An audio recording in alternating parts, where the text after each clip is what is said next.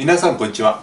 私学部1年生から6年生そして国家試験浪人生のマンツーマン個別指導スクール東京レンタルスクールの岡田です、えー、本日はですね、えー、こちら航空外科三叉神経痛ですね見ていきます。えー、三叉神経痛といえばですねこちら例えば電撃痛とか、えー、いくつか QR ありますよね。そして国家試験、えー、浪人生もですね、えー、ご存知の通りかなりテスト品質ですねの内容になります。えー、まずはですねこちら三叉神経痛、えー、大きく分けて2つに分けられます。こちら見ていただく通り典型的な三叉神経痛ですね、えー、こちら突発的なものですね。突発的な三叉神経痛。そして症候性ですね。三叉神経痛。例えば上顎洞炎とかですね。さまざまな原因で、え、なるものですね、え、こちら別名有痛性のですね。三叉神経のニューロパチーとも、え、呼ばれることがあります、え、大きく分けて、え、このように、え、2つあるわけなんですね。でこちら一般的なですね、まあ、よくテストに出る方っていうのがこの一般的な上の方ですね。典型的、えー、こちらがよく、えー、代表的なですね、まあ、しっかり覚えるものとしてテストに送れるわけですね。まずですねこちら症候性の方からちょっと、えー、ご紹介簡単にすると症候性っていうのは先ほど通り原因疾患があるんですね。例えば上顎動炎のように原因があって、えー、後ほど出てくるんですけども疼痛はですね、えー、こちらの、えー、典型的なものより軽度ですね。そして成長を超えることがあるということですね。こういう違いがあるんですね、えー、実際にですね、まあ、よく試験に出る方この後詳しく、え、見ていきますのでその違いをですねしっかり押さえていただければと思います、え、まず典型的な方ですね。こちらよく試験に出る方、え、今から見ていきますけどもえー、こちらはですね、えー、頭蓋内の血管による圧迫が原因と、まあ、一般的に、えー、考えられています、えー、こちらですね、えー、他に似たような作用基準のものもあってそういったものがですね変則の顔面痙攣ですね。こういったものも、えー、圧迫によって起こると考えられています、えー、まずですねこちら、えー、40歳以上の女性にですねこちら多いですね。そしてこちらよくキーワードで試験に出るのが、えー、会話とか洗顔ですね。そして食事、えー、こういったものが、えー、よく、え誘発するものとしてあります、えそしてですねこちら一般的には、え成長を超えないんですね。こちら成長を超えない、えこれが突発的な方ですね。成長を超えない。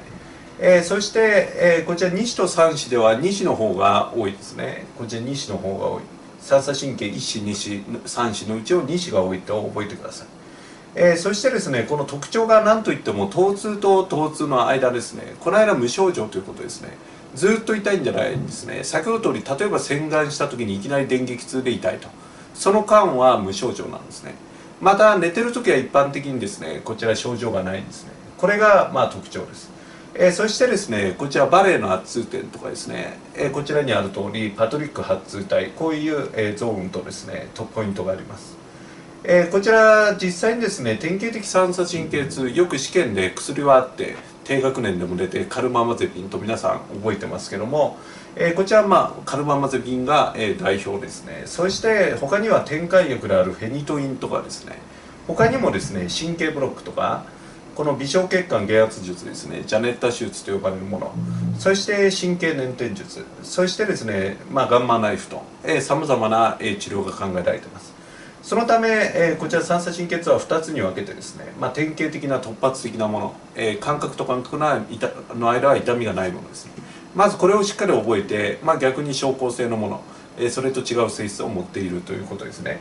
まあ、例えばカルバマゼピンが、えー、典型的な方は先ほど通り、えー、有効ですけども小構成の方は無効とかですね。こういったところを覚えていけばいいと思いますね、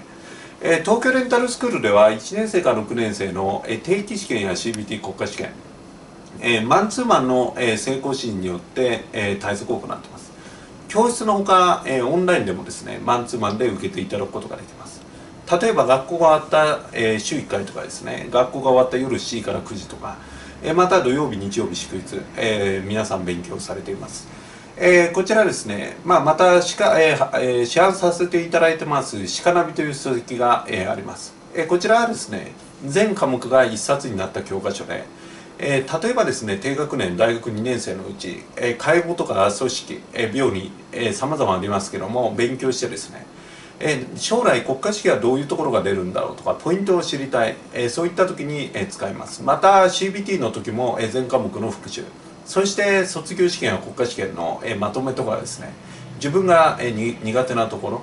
また学校によってですね多少こうばらつきがあるんで、えー、皆さん他の学校ではどういうところを重視して覚えているのか。そういったことをですね一冊で確認できます、えー、こちらはですね大変好評いただき、えー、カテゴリーのベストラー 1, 1位をいただいたり、えー、全国書店やですねオンライン書店で、え、こちら様々、えー、好評いただいてますえ、版を重ねておりますので最新の版を、え、参考にですね購入いただければと思います